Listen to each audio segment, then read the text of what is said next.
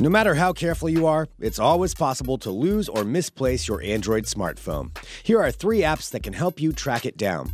The first is Android Device Manager. All Android phones now come standard with the Android Device Manager app pre installed.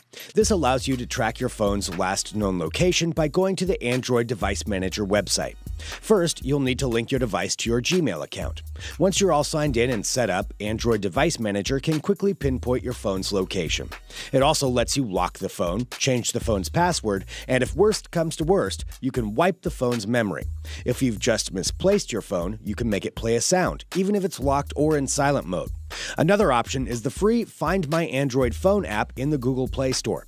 You can sync more than one phone to the app, and you can track one or more phones in real time. You can also erase messages on a tracked phone. The app features a map showing the location of tracked devices, so it's easy to figure out where you lost it.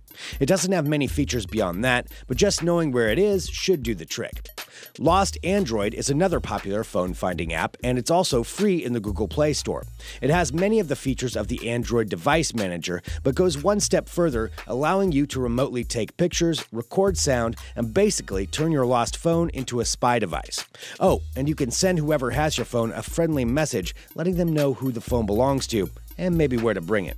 Just install the app, OK Admin Access, tick some settings, and you're all set. Any of these three apps will hopefully make recovering your Android device that much easier.